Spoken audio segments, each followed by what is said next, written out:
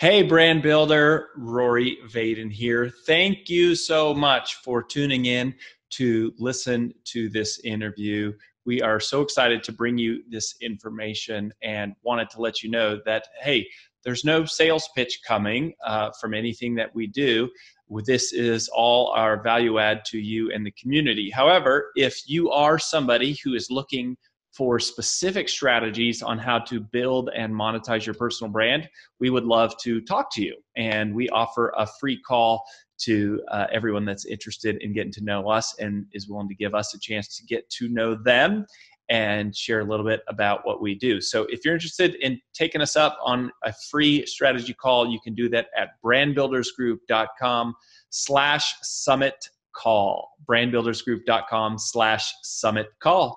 Hope to talk to you soon. On with the show. So you're listening and probably your dream at some point in your life as a personal brand is to like be on good morning america or be on the view or uh, you know it, it, this america this morning and uh, you're about to meet the host one of the hosts uh, an emmy award-winning journalist a new friend of mine paula faris um, she was a co-anchor of good morning america um, weekend and she was also the co-host of the view for like three years um, she has been on World News Now. And, anyways, she's awesome. And I met her mm-hmm. at the mm-hmm. Global Leadership Summit. She was another one of the speakers. Totally uh, connected with her. She has a new book that is called Called Out, which we'll talk a little bit about. But I thought you had to hear her story about um, how she got to where she is, some of the things that we can steal from her and learn in terms of some of her skills, and then also um, hear a little bit about her new book and why she wrote that. So, anyways, Paula, welcome to the show. I'm the interviewer and you're the guest. How's that? I, it feels kind of awkward, but you buried the lead, Rory, which is one thing that you don't want to do in broadcast Uh-oh. journalism. Don't bury the lead. You forgot to mention that I am the Global Leadership Summit um, cornhole champ in mm. some capacities because if Rory just mentioned that we met at the Global Leadership Summit in Chicago. What he failed mm. to mention was that um, I schooled him in cornhole. And if you're familiar with unfamiliar with cornhole, mm-hmm. some people call it what what's bags. the other term? Bags, which I don't understand that, but that makes no sense.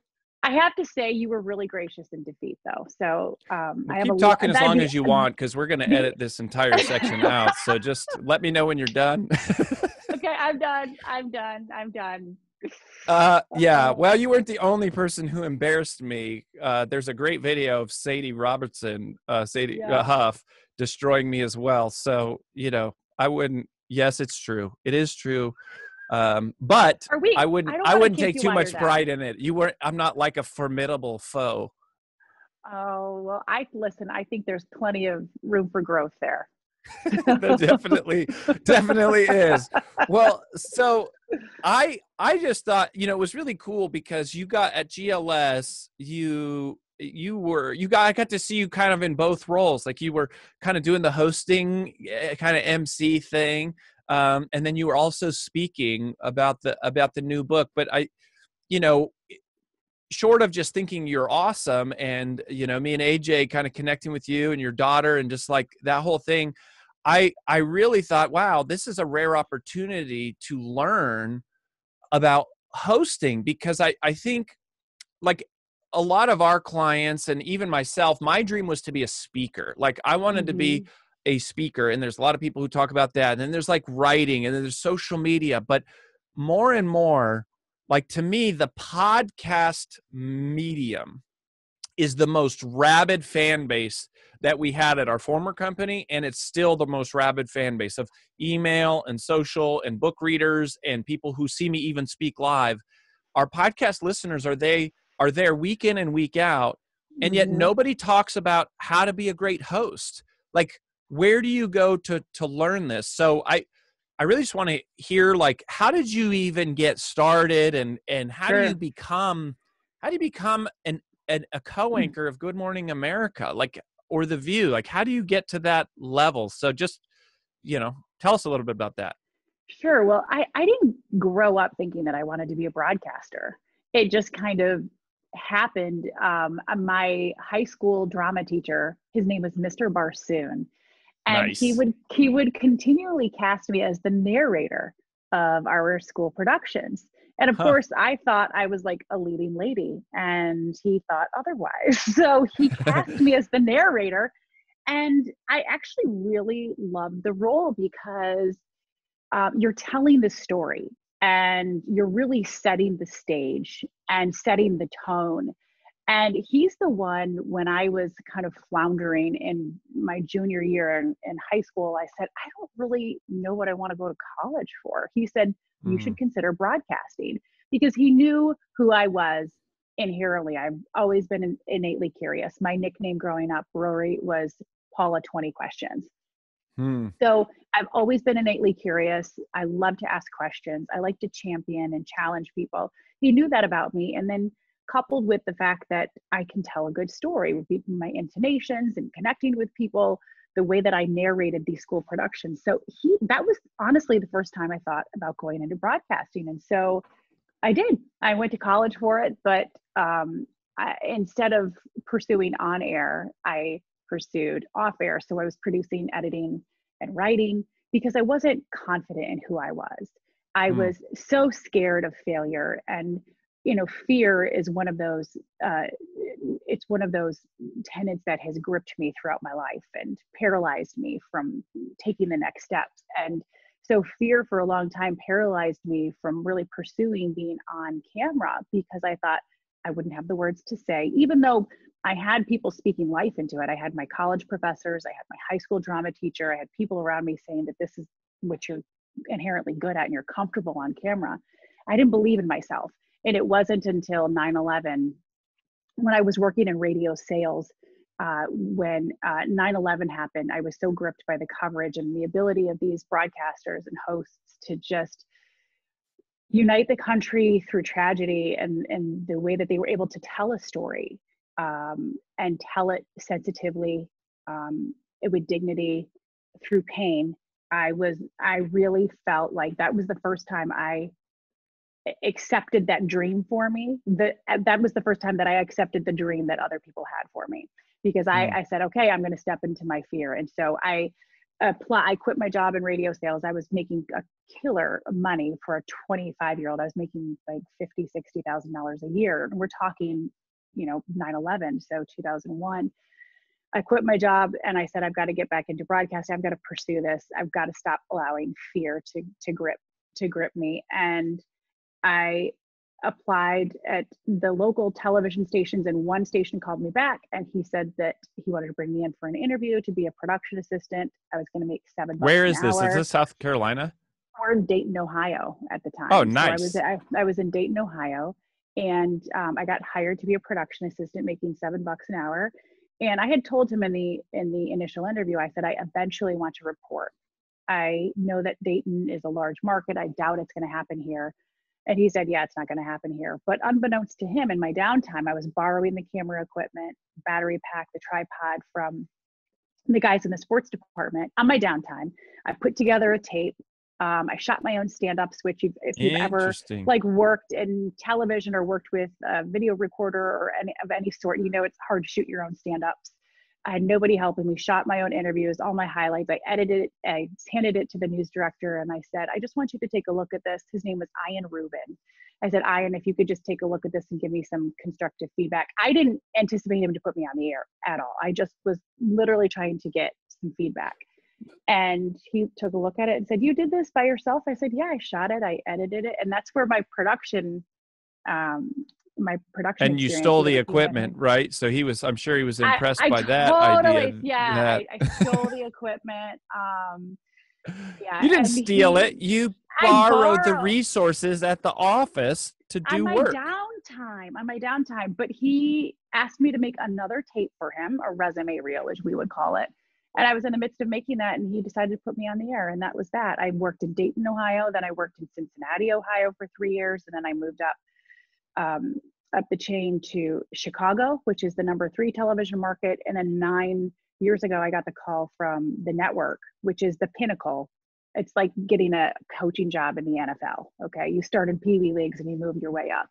I got a job um, at ABC uh, News, and they wanted me to anchor their overnight newscast. And I was like, "You have an overnight newscast? What?" so I event. I initially went to ABC nine years ago with my family, two little kids.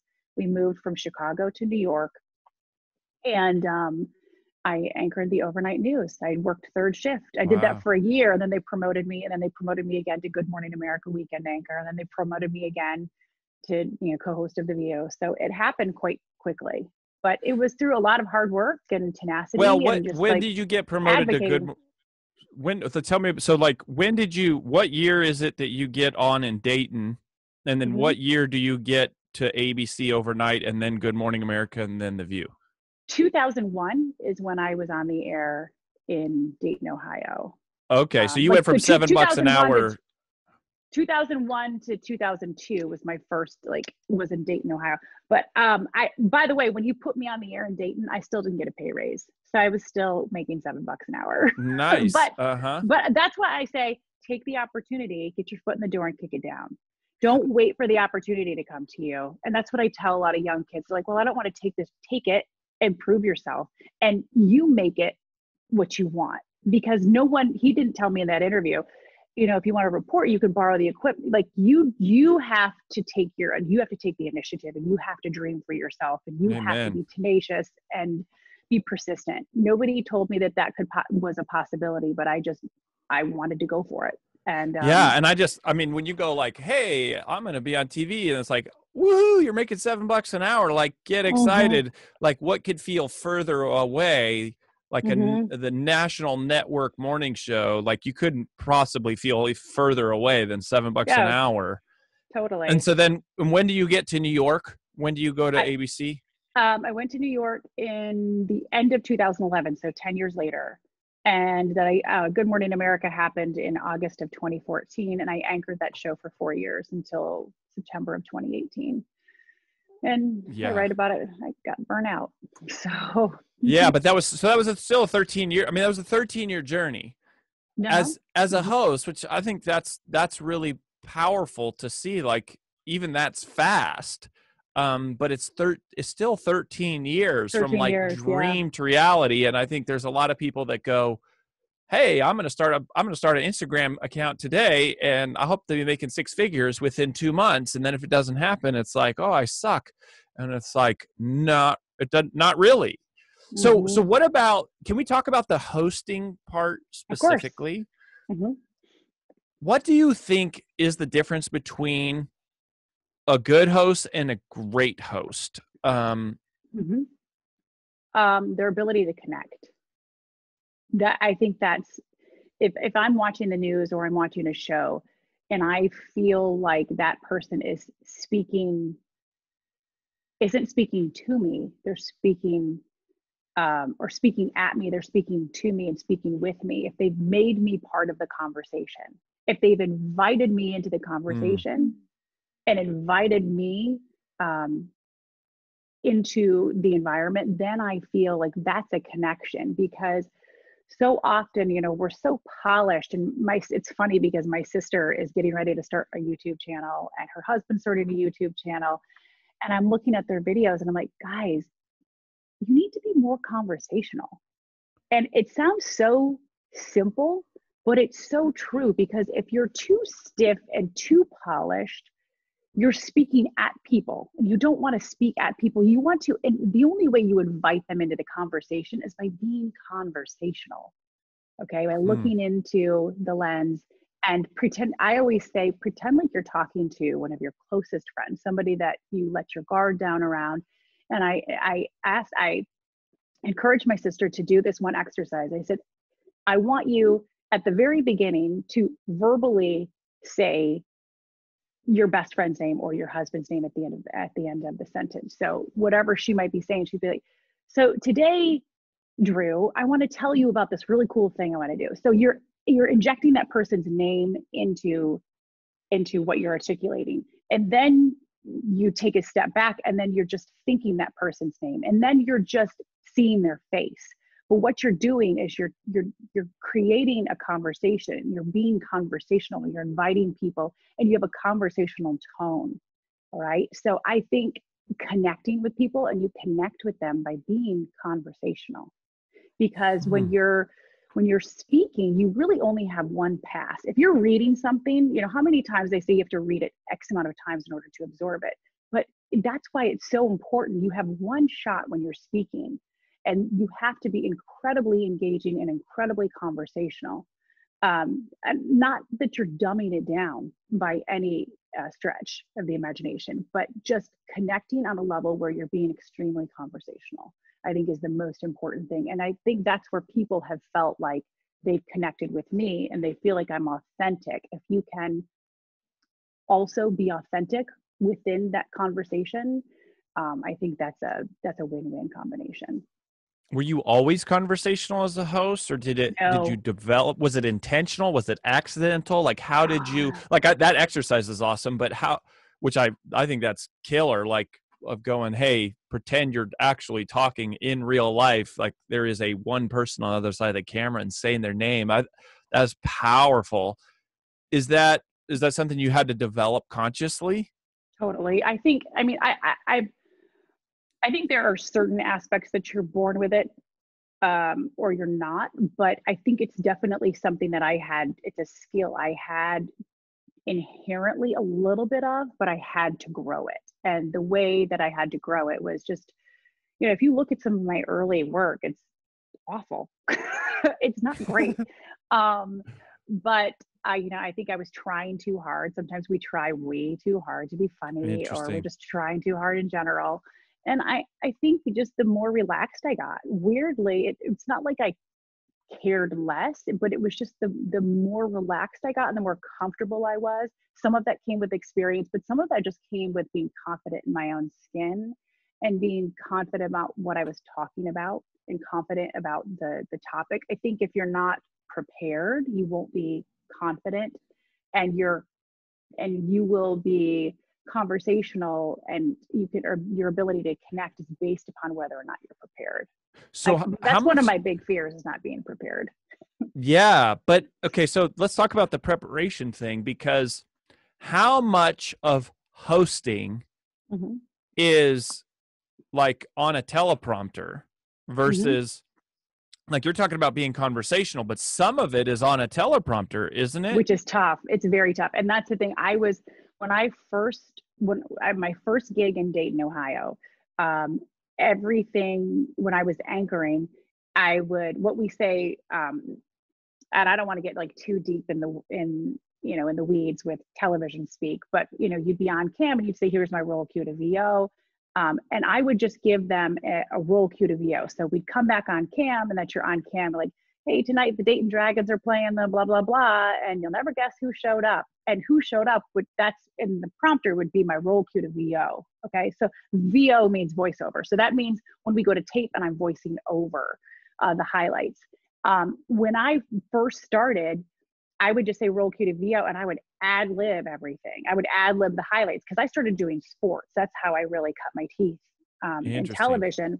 And um, when I was out in the field reporting, you don't have a teleprompter out in the field either. So I'm learning um, probably a little differently than than a lot of people, uh, a lot of my other peers and colleagues, um, just because that's the way that I was trained in our sports department. So the, the the challenge is is when you have a teleprompter, it can, and I feel like in sports uh, sports anchors are usually really good at their job because they're they can they're quick on their feet they can improvise and they can tap dance and they can talk around things and they're you know they're that's just the, that's the the sort of situation that they're used to. They're used to sure. ad libbing highlights and ad libbing stories whereas in news it's much more produced. And so when i came from sports to news because when i when i was in chicago dayton cincinnati and chicago i did sports. And then i decided to do news which is one of the reasons i took the job at abc because they wanted to give me an opportunity to kind of get my news leg my news sea legs because i'd done sports for so long um, and everything's very scripted and it's it's challenging because it's, it's hard to have that conversational tone when when everything has been scripted for you. Right. So, but there have been moments where the teleprompter has died and I'm like, yes, finally. You know, we can that this is i mean this is this is how i this is how i was trained this is probably where i'm most comfortable but um it is a mix. If you're in the field and you see a reporter out in the field like in front of the white house or in front of a stadium there's no there's typically no teleprompter for any of that. That's just all off the cuff. Um, uh, but if you're in studio most of the time there is a teleprompter. And i hate teleprompters because i just think they become a crutch and you just and they take that conversational tone which i think is so imperative to the connectivity they they remove that from the situation. Now what about like on the on the view oh there's no that's not a teleprompter. No that's like no there's no teleprompter there. There might be a teleprompter for uh, sponsored segments but no that's all right. off the cuff. And uh, it's it's it can be a little it's very nerve wracking because you're not really sure what everybody's going to say. Whoopi goldberg i love whoopi and she would always say you know we would have the hot topics meeting in the morning. Uh, we would show up at i think our meetings were at 8.30 yeah 8.30 and then the show was 11 o'clock eastern and so we would have the hot topics meeting we get this huge packet and um, most of the times we would get it the night before but then it was revised by morning and you just we pick out the stories that we want to talk about that day and um, based upon our uh, fire and our passion for the stories, the producers would then pick the stories that we were going to do for the show. Mm-hmm. All right. And what we were going to cover. We didn't, and if we got a little too heated in the hot topics meeting at 8:30, what we would say, no, no, save it for the table. So she didn't want us to to totally go there because she didn't want she wanted so much of and kudos to her she wanted so much of it to wait for the table for the hot topics table so that um, we didn't know where we didn't know what the other person was going to say because it keeps you on edge and it keeps the conversation like really fiery um, so uh, that was a situation where whoopi would say yeah let's not don't give too much of it away save it for the table yeah her, so you went from like totally impromptu to totally scripted to all the way back to like completely impromptu yeah. and like the holding journey. on yes like sitting on the edge of my seat not sure what the hell was going to happen next was, uh-huh. yeah it's a little it's very it can be scary and for a journalist you know and i i had the added pressure i was still when i was doing the view i was still anchoring good morning america weekend so i was still a journalist and i I didn't want to say anything that was going to foil my news career because I my number one objective was to stay neutral and to stay objective and really kind of like tiptoe around a lot of the, the political talk because when I was first hired, this is pre-Trump. This isn't, you know, he he was just throwing his name into the hat in the primaries and you know, and then he became a nominee and then and then he became president and then it became a really political show. And um, but it was tough for me because i was given explicit directions by my bosses on the news side abc news that i couldn't give political opinions because mm. of because i was a journalist and still anchoring one of their flagship shows. So um, when it became a new a strictly when it became very political the show it was really uncomfortable for me um, and i felt like i couldn't go there and i felt like i couldn't give the audience what they really really wanted. And that was probably one of the first times that i felt like um, i felt like a failure in many regards because i wasn't able to connect um, with the audience because the audience it's called the view for a reason. They want you to give your opinions and give your views. And i would give my opinion and views on most everything except for abortion and politics and that's really the, the show started turning towards Sure. When it became political, it was really uncomfortable. So, do you think this translates pretty directly for a podcast host? I mean, like, or a YouTube, like a YouTube channel. Like, if you're not, do you think this con this topic, these kind of lessons, do you think they apply to just somebody with a mic, you know, like me, right? I mean, sure. like, is mm-hmm. it going? Is it the same? Is it the same idea whether it's you know national television or it's a local podcast? The idea is just to connect is to connect honestly with the audience and that Absolutely. is the most important thing Absolutely. I think that is a that's the baseline, that's the foundation of everything. And you can do that through a myriad of ways like the way that you were able to connect with me early on like kind of telling a joke and by like um, letting you, know, you win what, at cornhole? Yeah that yeah, let, that is exactly. part of my strategy. So we were already connected uh-huh. But but you put me at ease as a host i will tell you, you put me at ease because you have done your research on me. And i i detected that just from what you the way that you introduced me. And for me if i'm doing a big interview with someone and i haven't read their book and that's why i'm sitting down with them or if i haven't done my homework um, they're going to know that okay so what you do is I, I, always say it's so important to do your research um, on whomever you're interviewing whoever you're sitting down with, whether you're hosting a podcast or you're conducting an interview, do your homework. It's so important to put the other person at ease. And you don't have to, like, you can just, you don't have to say, oh, I read your book and it's amazing. You can just say, yeah, I read this. Uh, you know, I remember this one line in your book and you said this. And that to them triggers, oh my gosh, they took the time to read the book or they took the time to do some research on me. And yeah, at least like open the book yeah to open the book and you'll see yeah. that but you'll see that other person's guard kind of come down and then they're like yeah. I, and i can open up to you now because you have put me at ease and you've made me feel comfortable and you've showed me that you care enough about this interview that you've done a little bit of homework but if you haven't done any homework and you haven't done any research then the way that i interpret that as the person that's being interviewed is that you don't care and if you don't care then why should i care why should i open up Interesting.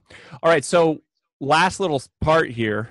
Mm-hmm. Why'd you leave? 13 years. You're like at the top of your game. You're at two, I mean, literally two of the biggest shows more than the 13 world. years. More than was, like well, seven. yeah, it was 13 to get there, and then you were like you were at the peak. Yeah. You were like doing the thing here for five, six years, and then all of a sudden you made a decision to leave.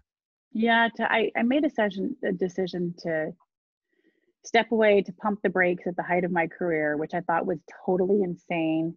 And, but I was burnout.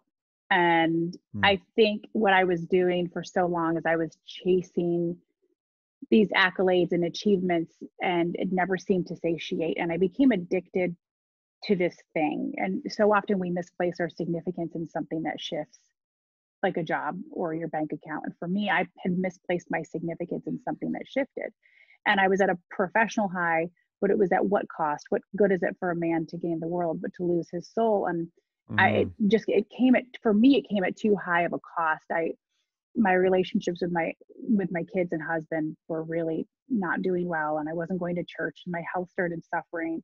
And I thought, okay, I don't think I was called to do this if this is what it was going to cost.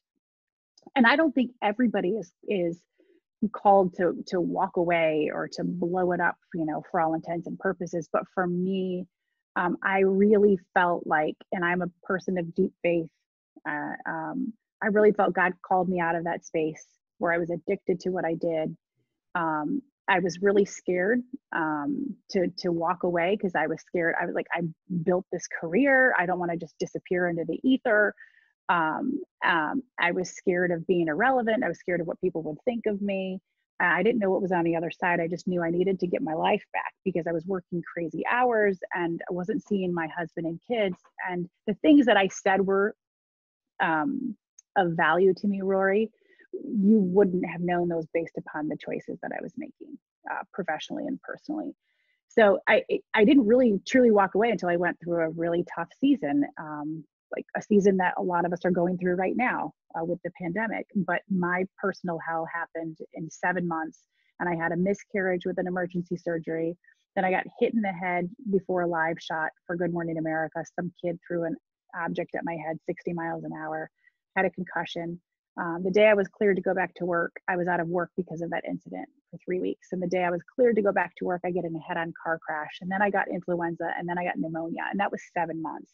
So I knew at that point Whoa. it wasn't just a string of bad luck. That was God saying, you need to slow down. You need to find out who you are uh, because you have you have wrapped up your entire identity in this.